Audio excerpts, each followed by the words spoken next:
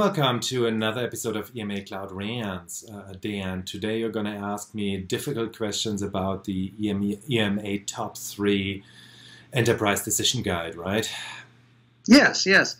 so um, we uh, we've been kicking around for a while how to how to take a, a different maybe look at vendors, and uh, the top three was something that you uh, you sort of thought about, and maybe you can share a little bit with how you arrived at that as a, a different format right. to uh, compare or contrast uh, what's available in the market.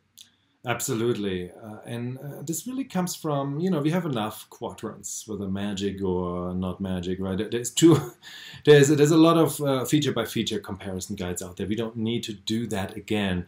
What we wanted to do is we want to give this an empirical basis, right? We wanted uh, we, we asked 260 enterprises about their most important pain points about what are they investing in in 2017 what are they struggling with what are they looking forward to in the future which technologies you know which problems do they want to solve? And based on that uh, uh we build out uh, this report. So it's not a vendor comparison right? The vendors are in the end aligned with the recommendations that come from this empirical study yeah, and the um, the study yielded uh, what you focused in on ten pain points, right?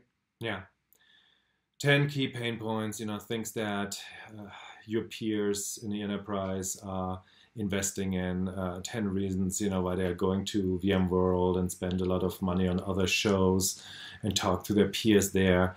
Uh, obviously, you know things like public cloud cost cost control, where your AWS bill may be escalating every month more uh, container management where you all of a sudden notice, wow, you know, there is a stack.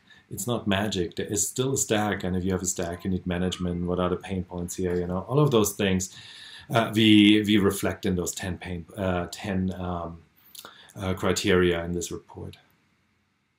And then within each of those 10, you created some subcategories, which, uh, how did you arrive at those? And maybe you can talk a little bit about why they're relevant.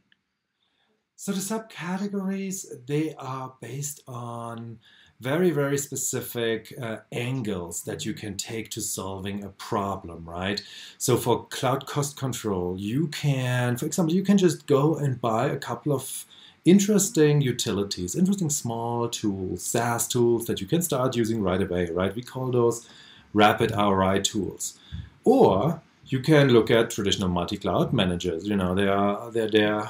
A lot of them have been around for a long time.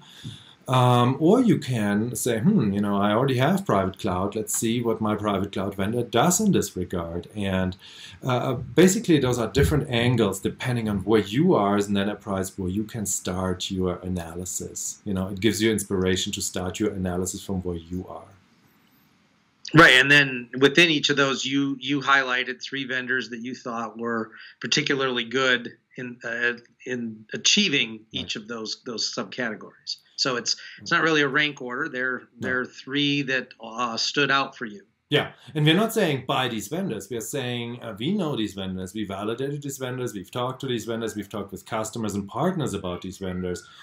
So go out and look at them, right? Don't necessarily buy them, but uh, go out and look at them because they are very well aligned with uh, your pain point and the pain points of your peers.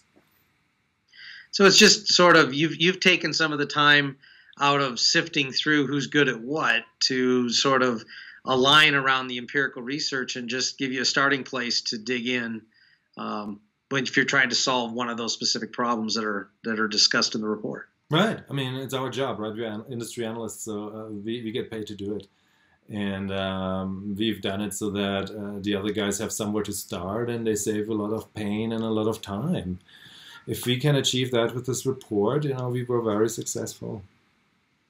Yeah, and you um, you put together an infographic, right? That uh, kind of walks through the process that might help somebody who want to understand a little bit more about the report yeah, uh, I'm going to overlay this here and you can click on it and, and uh, click through to the actual blog post that uh, step by step explains this infographic. But uh, at the core of this is uh, we, we were looking for solutions that uh, were analyzing and attacking a problem from a new angle, right? A known problem from a new angle and an innovative angle and an angle that's important to the customer.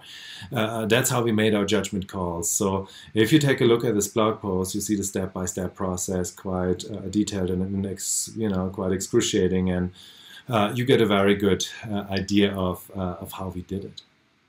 Great, great. Well, I think that was all the time we had. Yeah. Absolutely, uh, that's it. We don't want to bore people all too much with more uh, details. This was another episode of EMA Cloud Rants. Thank you very much, David.